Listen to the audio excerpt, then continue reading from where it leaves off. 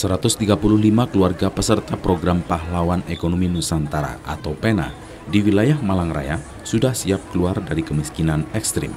Hal itu disampaikan oleh Menteri Sosial Tri Risma Harini saat melakukan kunjungan ke Pakesaji Kabupaten Malang pada Selasa 31 Oktober 2023. PENA merupakan program dari Kementerian Sosial dalam membantu keluarga miskin ekstrim dengan memberikan bantuan permodalan usaha dari semula yang mengikuti program PENA 443 keluarga dengan kategori kemiskinan ekstrim di Malang Raya. 135 keluarga siap graduasi atau lepas dari kepesertaan program bantuan sosial.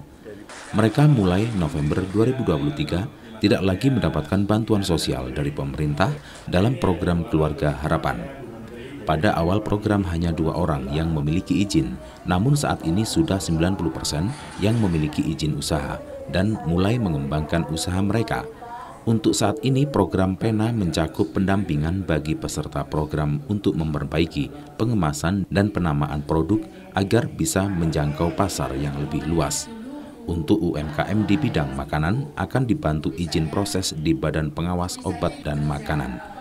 Sementara untuk membantu pengelolaan keuangan, Kemensos bekerja sama dengan Bank Indonesia dalam literasi keuangan untuk perencanaan dan pengembangan usaha. 443 yang yang apa namanya yang ikut. Jadi itu bulan November ya.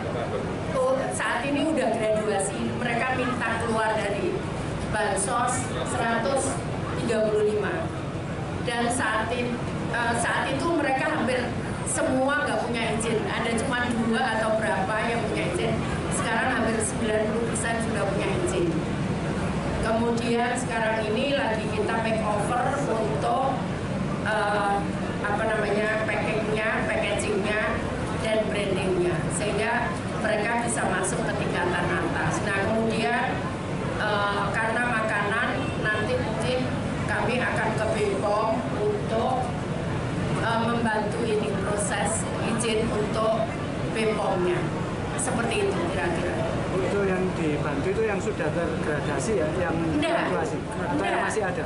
Jadi dia dulu belum masih penerima. Hmm. Jadi waktu November itu kita pilih mereka masih penerima, penerima bantuan sosial. Nah kemudian kita ngambil data dari situ karena Pak Pak Presiden kan menyampaikan harus 2024 kemiskinan ekstrim harus keluar.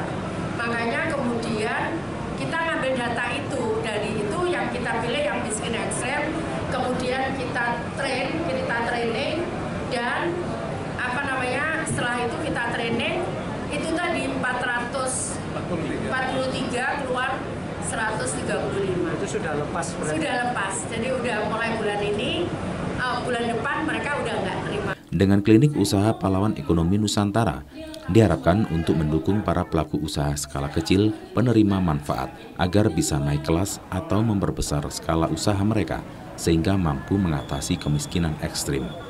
Dari Kabupaten Malang, Max Munir ATV melaporkan.